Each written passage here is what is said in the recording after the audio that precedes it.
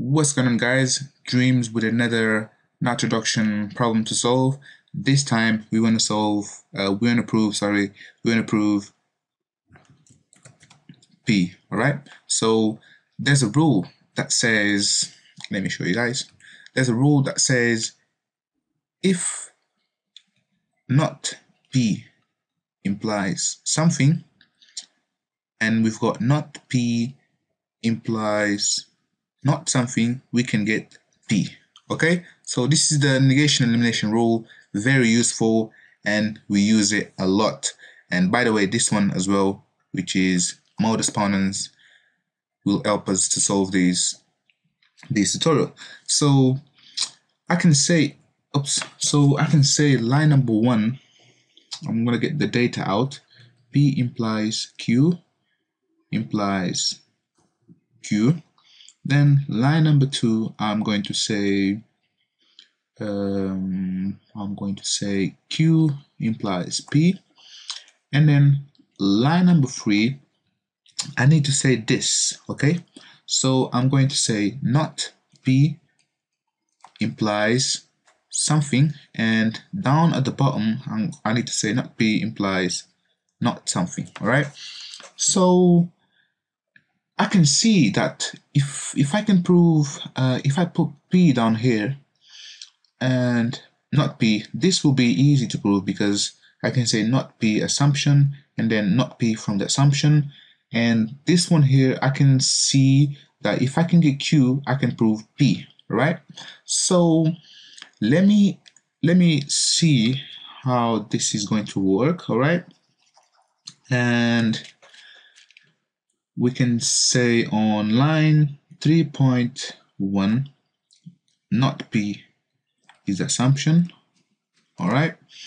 And then line 3.2 there's no way that that I can prove um, that I can get uh, what's it called? Uh, P yeah? So I need to say let me see let me see I need to say, I need to say, this is going to be, if I can get Q. So this is going to be P implies Q, all right?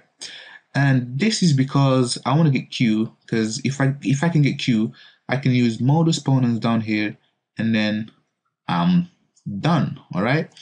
So another subcomputation box because I've got an implication 3.2.1 this is going to be P and then 3.2.2 I need to use this rule again because in order to get Q I need to I need to say uh, Q implies something. So this is going to be not Q implies something and not Q implies not something. All right so I'm going to say uh, not Q implies P because I've got P and I've got not P down here. So I'm going to say uh, not Q implies P.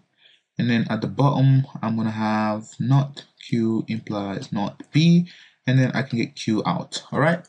So 3.2.2.1 not Q's assumption. 3.2.2.2 I can say P from 3.2.1 then I can close this subcomputation box. Just let me delete this.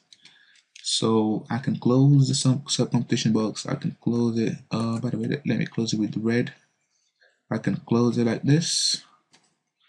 And here is a here is a oops yeah just like that. And here we want to prove Q here we wanted to prove P and we are done. So line 3.2.3 I can say not. Q implies not. P alright so 3.2.3.1 I can say not Q because it's assumption that's easy. 3.2.3.2. I can say not P from not P from 3.1 okay? So then I'm done with this. I can close it like this. Just like that. I can close it. Let me just make it look beautiful just for you guys because I love you. And then I can get Q so I can say 3 I can say 3.2 point uh, point four. I can say uh, Q using uh, 3.2.2 and 3.2.3 I can get Q because of that. And the rule is negation elimination just like that.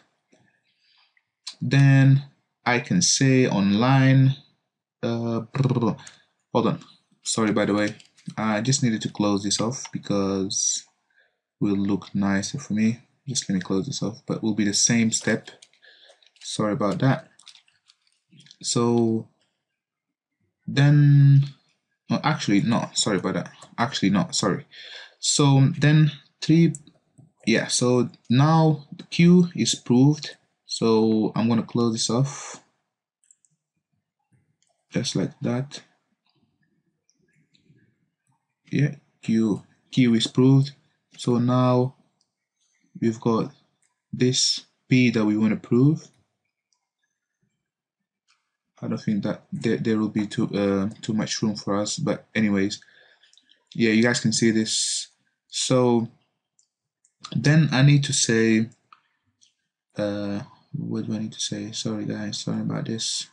So then I need to say line 3.3.3 and I can say uh, P yeah because of this Q and this one here which says uh, I've got the Q then I've got Q implies P then I can say P easily right? So then this is proved. I can close it like this. Yeah. Oops. Yeah. Then just let me scroll up. Sorry about this guys I hope you guys been copying these because otherwise you won't be able to see but this is the proof so far. And I can say line number four. Oops. Line number four I can say this bit so not P implies not something. So I can say not P implies not P which is easy to prove. So I'm going to say 4.1 not P then 4.2 I can say not P from 4.1 by the way this is assumption and let me close this off. Sorry sorry guys. Let me close this off.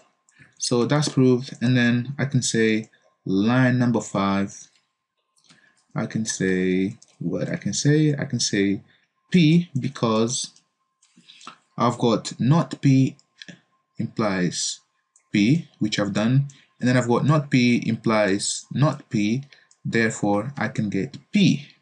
So there we go. And this is once again negation elimination. So let me show you guys once again the proof so you guys can see properly. You can copy it down and learn this stuff. So that's it guys. Thanks for watching my tutorial. Don't forget to subscribe to my channel and I'll see you next time.